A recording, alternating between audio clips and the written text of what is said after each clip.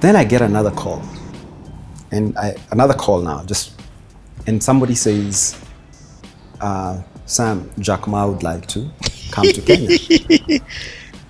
and I get a call from somebody uh, in Switzerland, and then I get another call from Caroline, Caroline. Caroline Mutoko. Yep. Saying some Jack Ma is coming. I was like, okay, yeah. So I had breakfast with Caroline. And Caroline told me, this is what is happening, this is why he's coming, and this is why your name has been floated.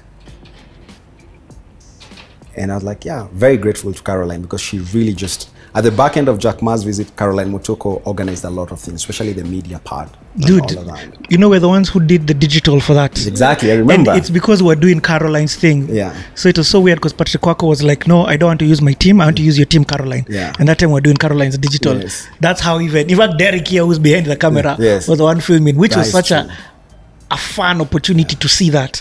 Caroline has had such a big role to play in, in the whole process. She was a really big part of the, you know, the whole cogs that were moving. Yep. Of course, Mukhisa had the biggest role to Yep. play in Jack coming. I did not know Jack, but Muk- I knew Mukhisa from previous connection. Um, and so, and there was also somebody else. You had you, you had gone you had uh, attended an UNCTAD festival. no, never. So where had you met Mukhisa? It's Because you knew him. It's a long story. I Okay. met him. He was my father-in-law used to report to him. So okay. when, when when we lost my father-in-law, I met him. okay. Yes, Okay. during the burial. Okay. Yeah. So um, And did you connect again after that? no, now we were connecting now when Jack's visit. Okay. Yes. But you know, when people visit, it's just a visit. Mm. It's just an it, it's an Instagram moment for you, Yep. and you should either choose whether you want Instagram or you want business. And I had gotten out to a point in my life where I was like, I'm done with this whole Instagram. of moments with people. I want outputs. I want real outputs. I'm tired of just being seen with pictures with different people, and I'm still broke. I'm still hustling hard. I'm not broke. When Yeah. I'm, from an average Kenyan, I, if I say I'm broke now, I'd be offending people. Um, but I'm still trying, right? Yes. I'm not rich, but I'm able to pay for my bills and things. Anyway, so so so I decided to invest in Jack's visit. I go ahead and I spend 700,000, I think, Kenya shillings that we did not have as a company to spend to decorate the room, make sure mm. Jack's experience is good. Because I know at the back of my mind, he will come, he will take pictures, he will go, and that will be the end of it. But I want to make this experience, it will work for us in terms of mileage, in terms of attracting new contracts and things like that. Because we survived on, a lot on contracts. Mm. Teaching businesses how to build business is not the same as building business Yep. yourself. I mean, Yep. like it's a whole different mm. aspect. And this is why I did build a school later on to take all that knowledge and now apply it. Okay. Anyway, so Jack comes and he walks out of the lift and he says, I've heard so much about you. And I was like, Yeah, me too. I've heard a lot about you. like, what else do you tell a billionaire who's on the news every day? Like, he says, I've heard so much about you. I was like, Yeah, I've also heard a lot about you.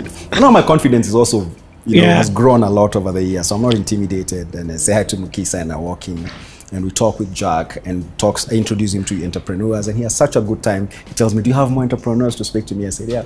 I'm like, Go find me more entrepreneurs. Somebody found me more entrepreneurs. They came.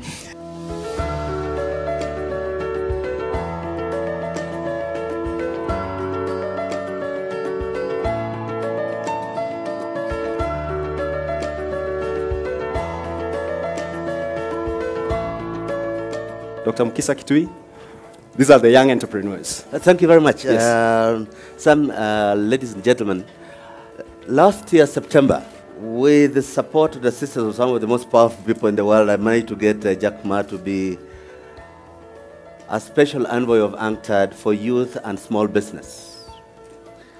In that act, he becomes the most, uh, the most expensive employee I have ever had. with the status of an Assistant Secretary General of the United Nations. One of the main things that made me look for Jack, and I shared with him over two years of things at Davos, at the World Economic Forum, is not the sto- is partly the story he has to tell. The tenacity of saying falling is ordinary, rising after a fall is what takes genius, what takes guts and that in the reality of the marketplace most small businesses have high mortality rates. Very many businesses fail. But how would you keep trying again after it has failed?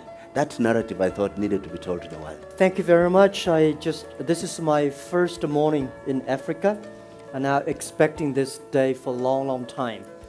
Well, this is the best gift I've ever got from uh, Dr. Kituyi.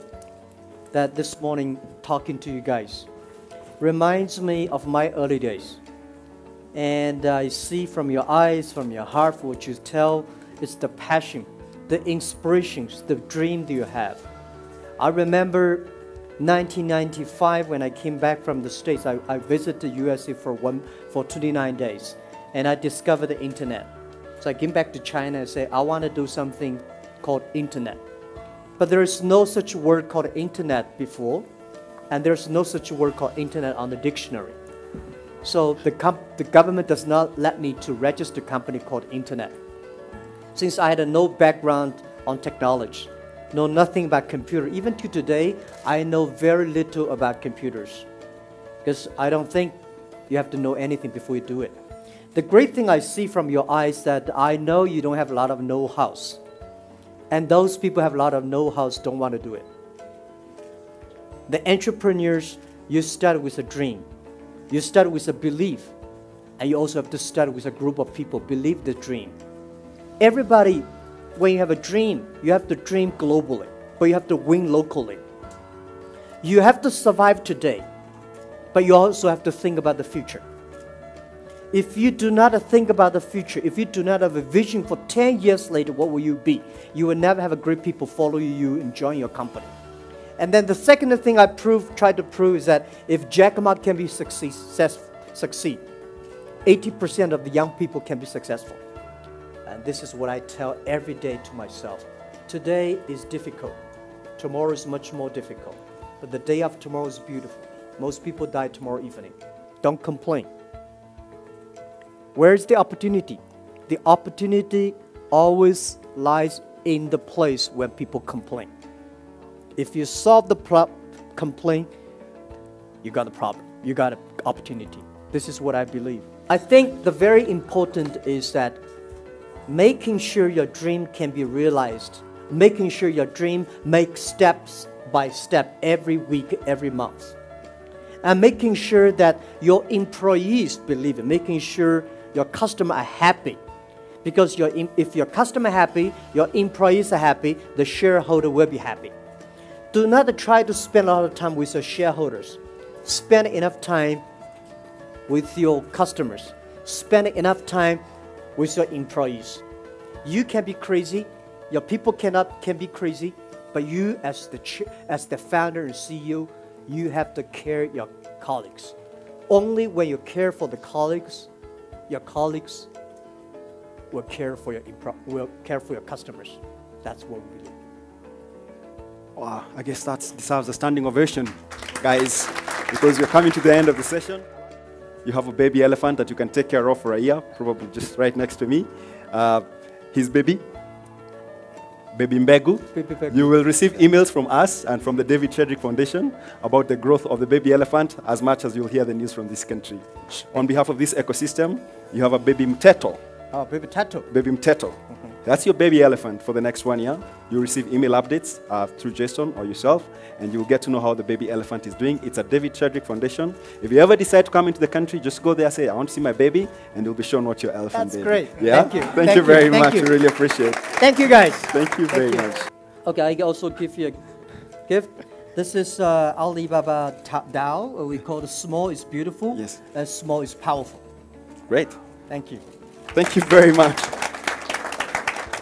And thank you so much for do, you supporting all these entrepreneurs. There are a lot of things I can learn from you and Thank we you. can do Oh, together. Thank you very much. I'm honored.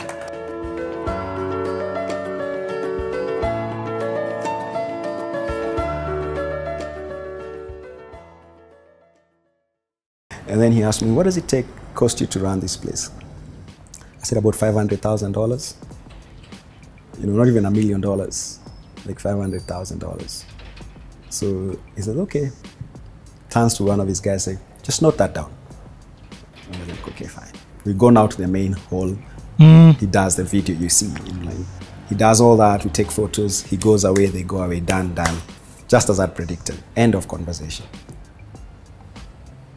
Now, I like that.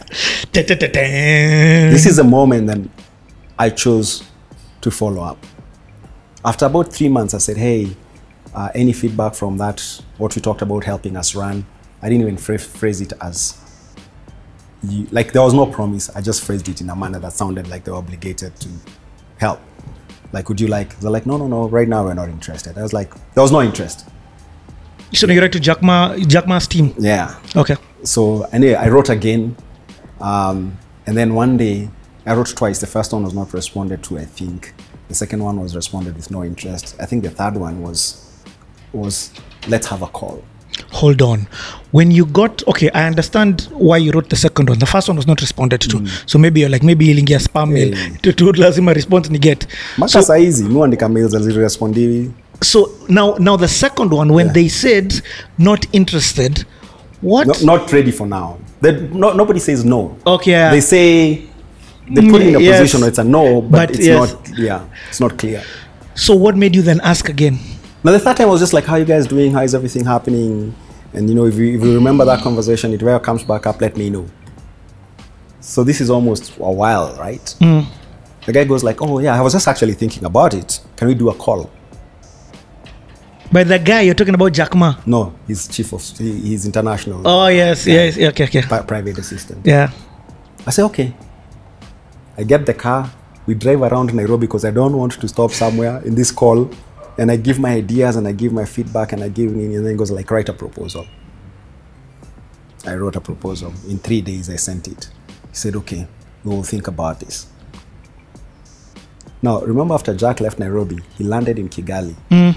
And when he landed in Kigali, he said, I'm going to put ten million dollars to invest in Africa in front of Kagame Yep.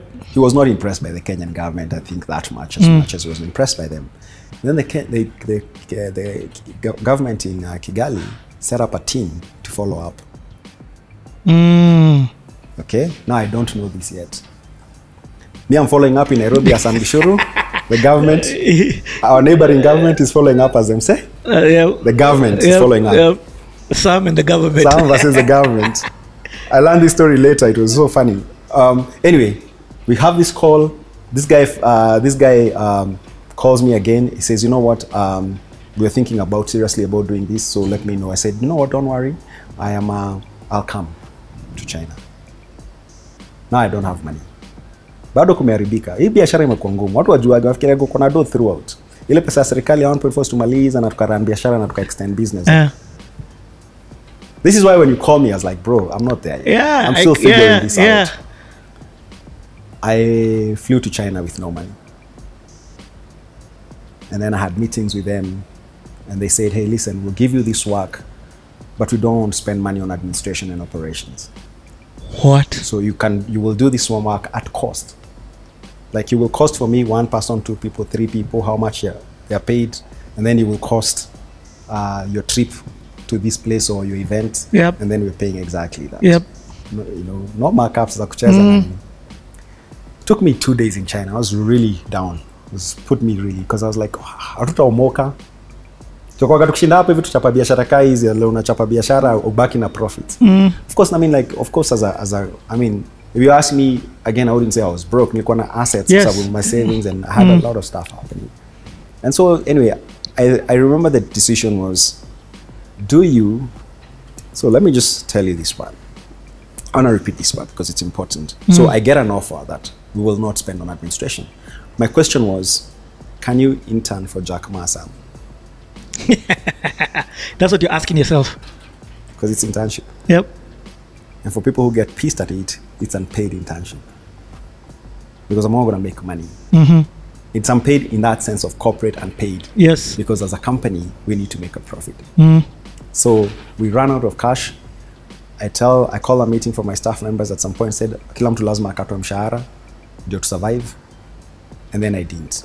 I cuttered myself. And then everybody remained at their salary.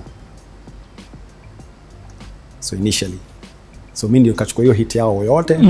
So nika, so my point was, what will happen when we work with Jack Ma?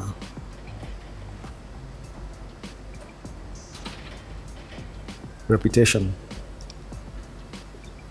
Shoot out the roof. Credibility. Yeah. All that stuff. tukachukua job na tukaichapa brok umesota. Dude hold on. That time when i'm coming to meet you discussing video strategy nini nini nini uh, what we can what i'm telling you. Because me in my head i'm like jack ma he's got that 10 million. Forbes imeandika jack ma chooses to manage his 10 million dollars. Watu wameassume ile do imewekwa kwa bank account yangu imekaa. mi ni garagaria mi nimepatiwa job ya kufanya KYM kym Mm. nifanye job. Na mimi nimechukua nimesema nitafanya. And you're doing this across africa? Across the continent. Okay let's talk about your crisscrossing around this because you said you, you had okay what was the role? You had to get? Mobilize create partnerships across the continent mobilize entrepreneurs from every part of the continent have them apply shortlist from ten, tens of thousands down to 10 so first and foremost you have to go to ho- 10 different countries. I went too many i have To- to, be in to- every part of africa to mobilize Mm, and Can- find partners, local partners Yeah. that can help us in the region. So that's what I did. Flights cheap, couch, uko nyuma, nini, hotel cheap. So we did that with my team and we kept on just tran- transversing across the continent and mobilizing. and, and any moment of time while, while you're trans going all over these places do you connect with Jack Ma Oh yeah, he called once, they called once and say, hey, um, he wanted a meeting and we're like, okay, sure. Then it's like, um, let's meet in Johannesburg. I was like, okay. Sasa best wangu sasa mtukutane usikutana Java. Sasa mzee aniambia I fly out of the country to meet you I'm like, what? Sasa nishafika hiyo level mzee anakwambia, go let's let's meet in Monaco. Na sina do. ah, anasema okay when date ikakuwa set alafu sio set so, solid so we unabaika ticket ukijua unaweza kamove kwa sababu yeye anaweza change mind nikaa tu kwenda Java sasa anasema tu meet kesho bala leo so tukajipanga panga na, na him as a private plane. Wewe ukana nini? Wewe usha wewe lazima nilipanda ndege inaitwa Rwanda Air. Acha nikwambie kama unaenda South Africa uavoid sababu ina stopiki sijui mara nne. Nairobi entebe ni wa three. Rwanda sijui Zambia. It had so many stops. The ma- so number of stops and take up you know takeoffs were so many. Mm. like four. Juu ile budget pia iko. Budget ni tight. Hey, alafu ukae wewe umebook 3 days umeet half an hour. Ay, ay, ay, ay, ay. which ended up being two hours anyway. So commit na yeye kwa room tu. So now you get to Joburg you you you you face to face. Yeah, yeah, yeah, across the table strategy discussions. So now hold on. Sahi si ati unaongea kana ila let me show you around let me tell you what to do. No. it's work. You work. now you're okay. Mko na kalamu karatasi laptops presentation imemake na walk through. He's like uh, so where do we do our first event i say for now because you already visited kenya and you already visited south africa let's do something in west africa. I propose ghana stable government stable this stable this nigeria too congested at this point probably maybe in a future date or whatever if, you, hmm. if you have really whatever. So it was nigeria ghana you know discussions na asema i know the president of ghana let's make it happen in ghana. You guys go to ghana and organize that note down visit to ghana mnaendelea. Anaanza ku break down how do we do this how do we do this better sam? How do you understand africa? Break this down for me. So like, what do you think? Nimwambia maze those are so- some things alikuwa anasema mwambia that's crazy. I remember we're supposed to be crazy man and like what's what's that mindset of his when you say that's crazy first of all i'm a show up job. He's the richest man i think in china at that point. He shows up for a meeting to discuss strategy location who are you going to work with? Event itakuwaje? Structure me the event let me see. Kutakuwa na lights kutakuwa na dancers kutakuwa na nini? Anataka hizo story. What? Unashika ako involved anafanya job na notes zake hapo hivi. Ako involved sana. Mkisema kitu upuzi anasema that's stupid. Let's try that again. Ako involved. Sio ati ana delegate. So this billionaire mindset that you're seeing ni kazi. Wako job. Ukisema kitu iko expensive sana unaona wewe unafikiria yeye amefuel 20 mili probably. Uh. i don't know how much ana fuel for one trip but mm. ukisikia una anakwambia hata vitu zingine wame no that's too expensive. Pia yeye anaangalia expense based on yani hustler anajua mm. expenses mm. zile ziko. alikuwa alikuwa straight up. He's a straight shooter speaks his mind very crazy very he thinks in a different place like the place that most of us want to think. He thinks in that place of the dealing impossibilities azikai mob mm, kwake mm, inakaa mm, yeye ata- atakonka tu that that that presence in that mindset must have been insane. Oh, yeah. what did he do for you? Again sitting with sitting with him and, and his people was just ana barriers za zile kitu anataka kudu it's it's it's g- g- g- gashui did you feel the humility? Yeah the, by there they say I, mean I'm, I'm in a room with this guy who presidents are trying to meet. Mi hata nilikuwa nipatiwa instructions. Nikaambua anybody below a level akitaka kumeet kwa sababu atakuemail waambie hivi. Anybody above this level ufanye hivi. So kulikuwaga na prime ministers of different african countries and all this deputy president vice president wakuwa na email. Oh i can so inabaki ama unapigiwa simu unakuwa unabaki sasa una forward ama unakosa. Kani minister nawambia it's not possible. Sababu walikuwa na come through me kujaribu ku, ku reach ofisi yake. So. That thing of reputation, you began feeling it immediately you started working. And then also, uh, okay, there's, hey, this Jack Ma conversation, there's a lot of things that are in my mind. So, number one, I want to understand the workload. Because now, remember when in intern, it means leo uko J- Kenya, I mean, joburg mm. Next day uko Kigali. Next day uko Nairobi. Like, nilikuwa hivyo day to day nilikuwa nalala kwa ndege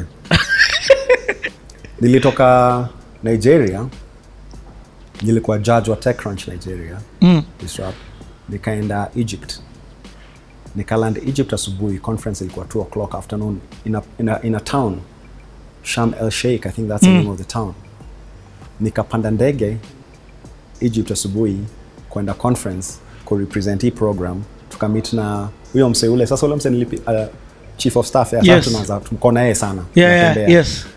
sasa tukakutana naye huko. Tuka hang out na yeye the whole day na conference nini. Tukamit strive tukamwongelesha tukamconvince akuwe judge.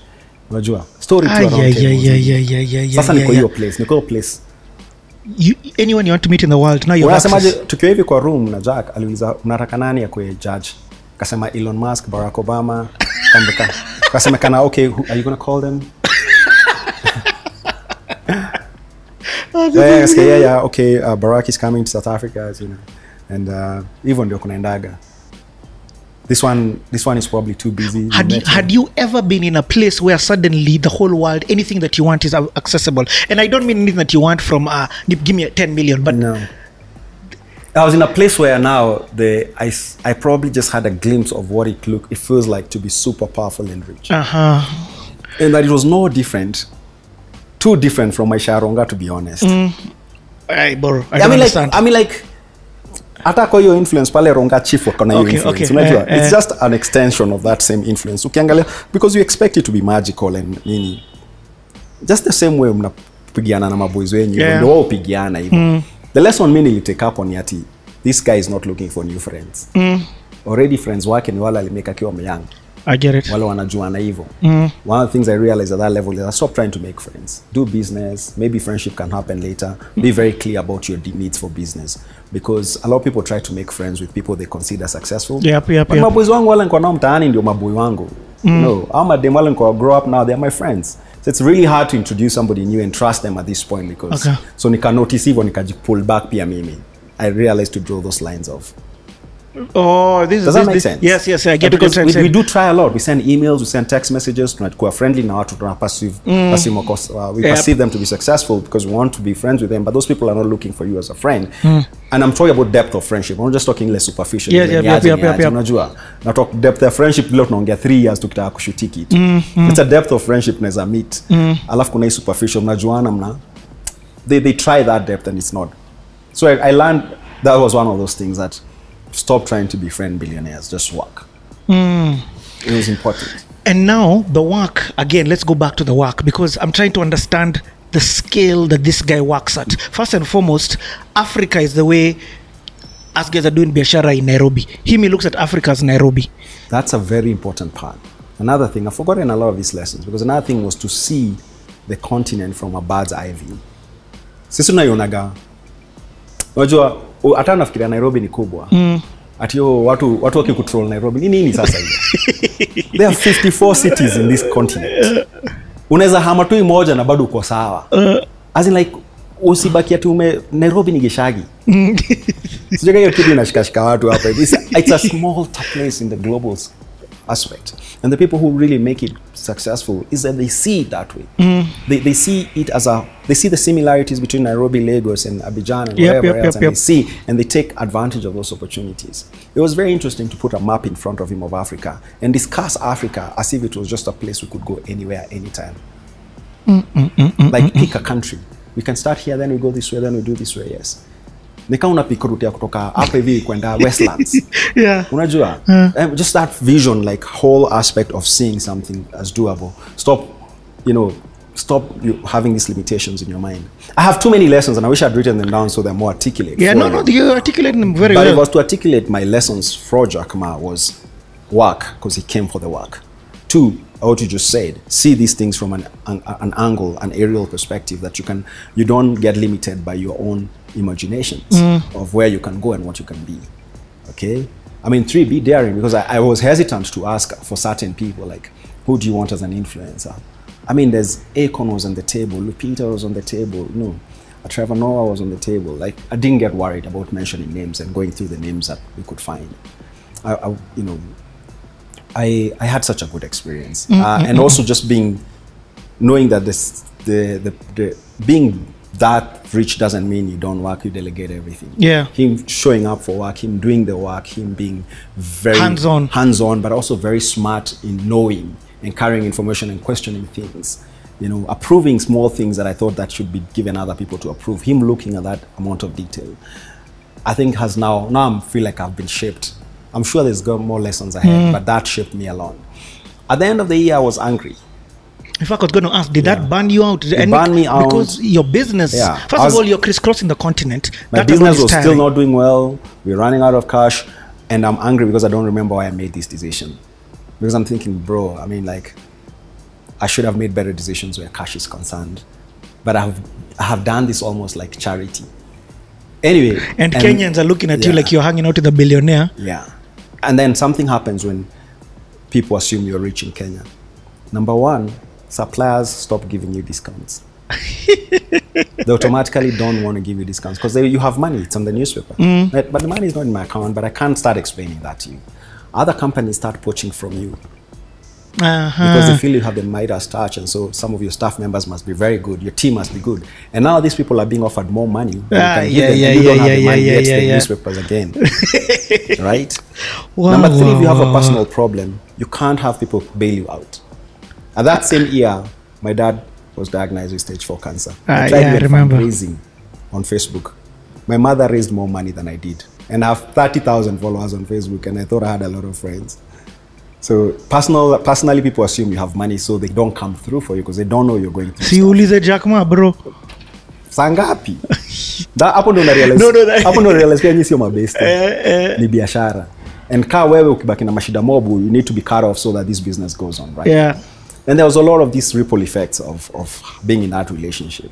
But the other side of it was that and also you made a you like you people you become a big target for people. Mm. people who, who don't like you people who mm. feel like you know people people always have issues one way or the other. Kapengine ulikosea mtu aujuagi wanaanza kukuchapa sasa na mayai sasa. So they want to make sure that they paint you the way they want the world to see you. Yep yep.